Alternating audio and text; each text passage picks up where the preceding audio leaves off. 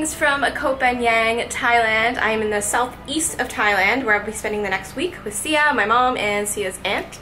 Right now I'm standing in my oceanfront beach hut that costs about 37 Canadian a night. That's about a thousand baht per night. So it's a little bit of a splurge for here, but I mean, I thought that we should treat ourselves a little bit and I will show you exactly what we've gotten ourselves into. This is our bed. And that is the ocean out there. This is our balcony. We just had breakfast there. And the beautiful ocean. A must do when you're on the island is to rent a motorbike. So it costs 200 baht for 24 hours and I would definitely be careful. You have to be careful with who you are renting from. You gotta get a good energy from that person because a lot of people crash or mess up their bike and it costs them a lot. You have to leave your passport with the person who locks it up, that's totally fine. But if you screw up, you're gonna pay. So make sure you trust the person. They're not gonna like chip you and say that you scratched the bike when you didn't. Take pictures of the bike before you take it out, um, or even a video.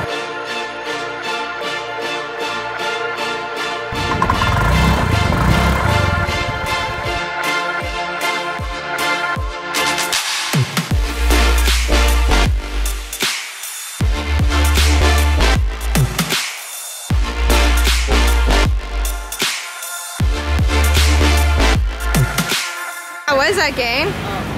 Oh, oh, it was great. It's important to be wild and free on a motorbike. How you feeling? Oh, that's a great reaction. I can't. we just took our motorbikes to the market here, and what'd you get, Siya? I got chicken on a stick, which is now done, and pad thai. Everything cost me a dollar fifty.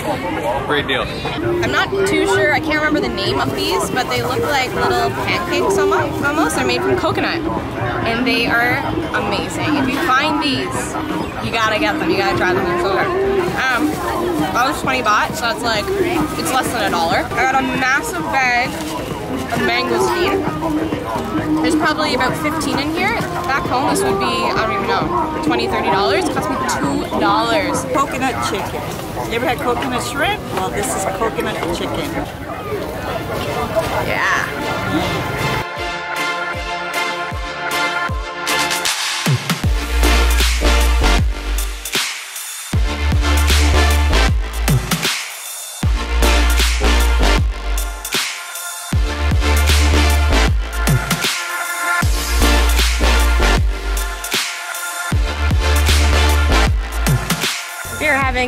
Lovely lunch, lunch dinner, dinner, uh, with this incredible view. It doesn't get much better than this. Coconut water, fresh coconut right from the coconut.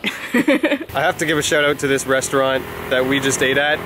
It's called 9 Million Restaurant. The food was incredible. Some of the best food that we've had here in Thailand. And look at the view. Right there along the ocean. It's on the southwest coast of Koh Phangan, one of the islands, and it's run by an awesome family. Food was delicious, fair prices, great view.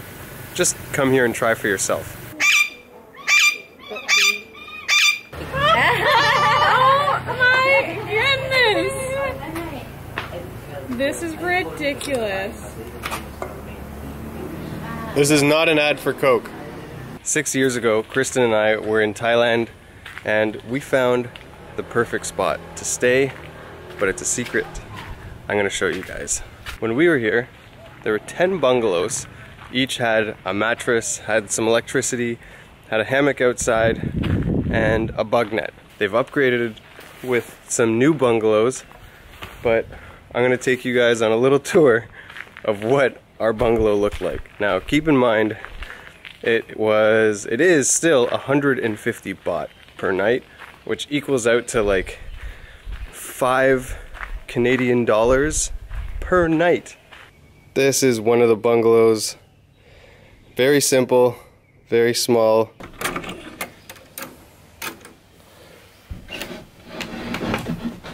So this is it. Simple bed, bug net. We had a window leading outside. We had some shelves here, that's where we put all of our stuff. And look at the floor. You can see through to the ground. Super simple living. It was so amazing to find this place. The owner keeps it a, a secret. It's not advertised anywhere. You won't find it online. Uh, I'm not even going to tell you what the name is of this place, but if you want to find out, message us directly. Send us a Facebook message or comment below, give us your email, and we'll send you the details of how to get here because you have to know someone who's been here to stay here. We just took our motorbikes down to Haad Rin and this is where the full moon parties happen. Beautiful beach, the water is amazing.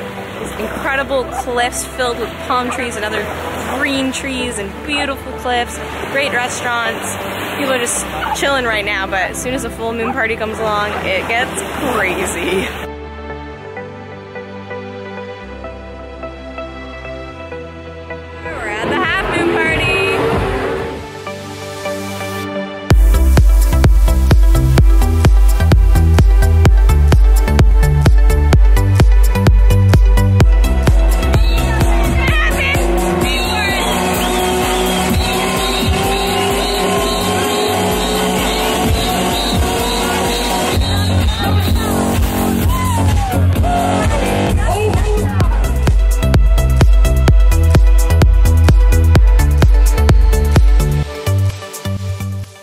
Welcome to Good Time Hostel. I'm to take you on a little tour where we've been spending the last couple of nights. Really like this place. It's super chill. The cabin that we're staying in is awesome, clean, it smells really good. So this is our cabin. We've got a nice hammock set up here with a bench, and I'll take you inside.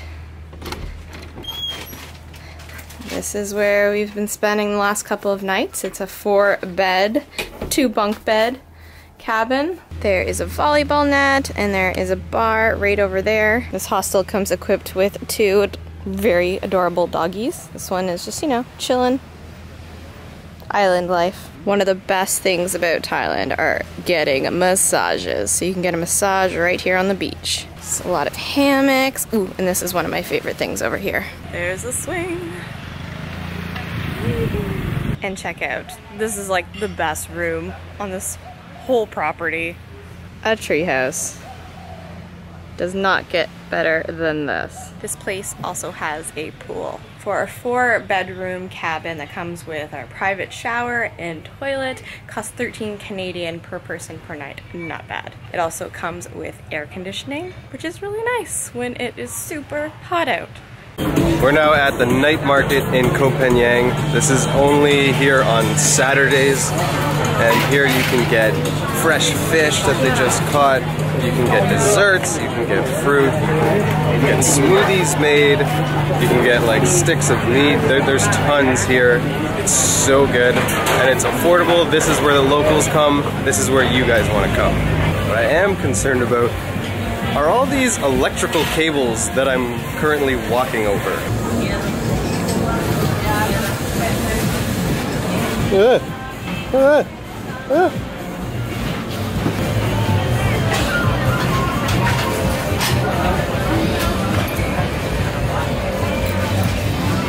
Doesn't seem very safe. Who's regulating this stuff?